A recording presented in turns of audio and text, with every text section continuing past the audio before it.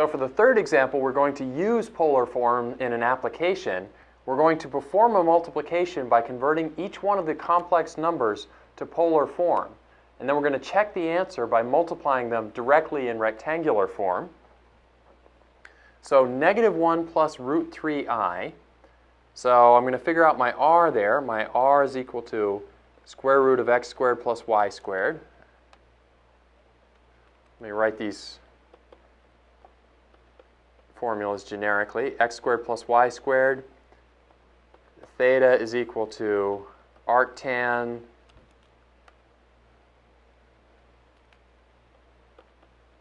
of y over x. That's if x is bigger than 0. And we'll have to add on a pi, the fudge factor pi, if x is less than 0. So in the first one, r is equal to 1 squared uh, plus root 3 squared, so that's 3, which is 2, uh, square root of 1 plus 3. Theta is equal to arctan of negative root 3 over 1.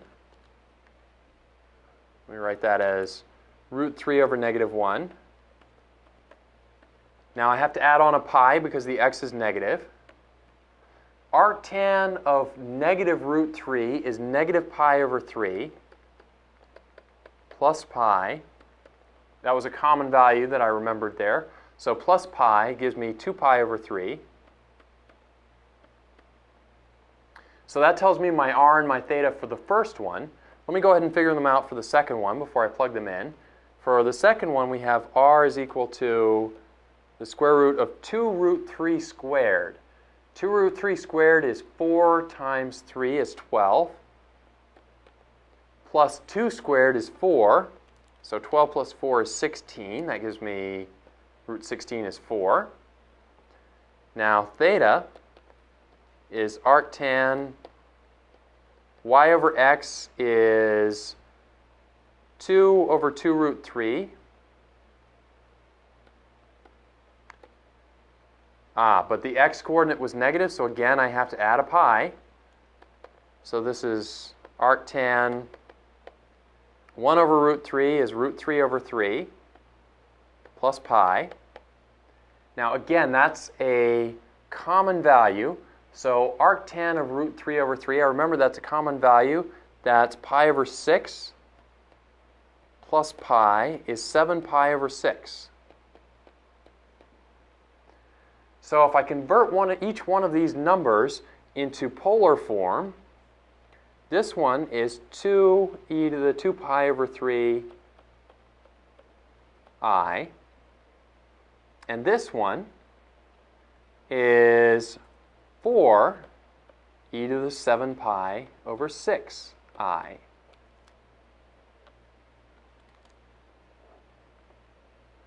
Now, I want to multiply those.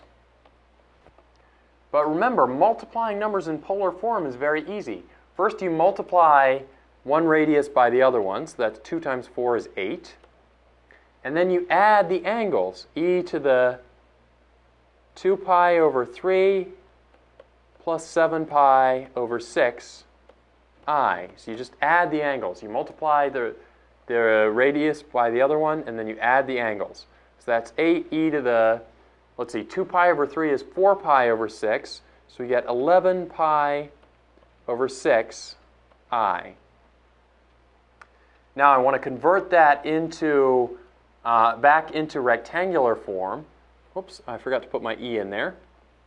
And I'm going to use this formula, e to the i theta is equal to cosine theta plus i sine theta. That one's really useful. It's definitely worth remembering. So this is 8 cosine 11 pi over 6 plus i sine 11 pi over 6. You could also use x equals r cosine theta, y equals r sine theta. You'll end up with the same formula at the end. So either way works. Let me draw a little unit circle to remind me where 11 pi over 6 is. 11 pi over 6 is just short of 2 pi. It's right there. So it's a 30, 30 degree angle south of the x-axis.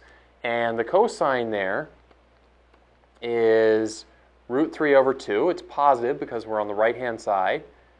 Whoops, root 3 over 2. And the sine is negative 1 half. And so what we get there, that simplifies down to 4 root 3 um, minus 4i.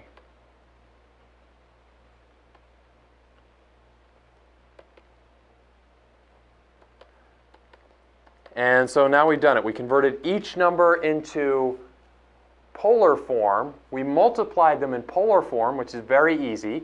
And then we converted the polar form back into rectangular form to give us our answer. It says we have to check our answer by multiplying them directly in rectangular form. So let's do the check here. We'll FOIL the multiplication out. So I'll do the check over here. I'll do the check in blue.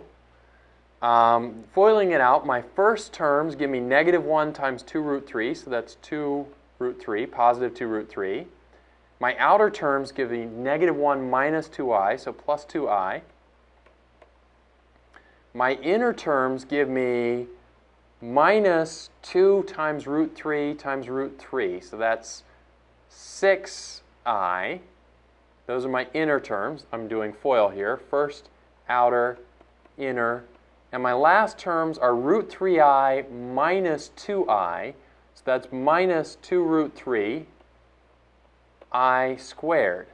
But remember, i squared is negative 1, so this counts as plus 2 root 3. And if we simplify that down, we get 2 root 3 plus 2 root 3, 4 root 3, plus 2i minus 6i is minus 4i. And that does indeed check with the answer we got by converting into polar form. So that was kind of a long one. Let's recap what we did there. We had these two complex numbers. We wanted to convert each one into polar form. So for each one, I found my r, and I used x square root of x squared plus y squared. I found my theta using arctangent of y over x, although in each one, the x's were less than 0, so I had to add on this fudge factor of plus pi to get me into the right quadrant. So I found my r, my theta, another r, my, my other theta. So I converted the, each one into r e to the i theta form. To multiply them together, you multiply the r's, but then you add the thetas because they're up in the exponents. That's the law of exponents there. So we added the, the thetas. We got a simplified polar form and then we converted back into rectangular form using e to the i theta is equal to i cosine theta plus i sine theta. You could also use x equals r cosine theta, y equals r sine theta. You'll get to exactly the same place. I know my cosine and sine of 11 pi over 6. That's a common value. And so I get the answer there.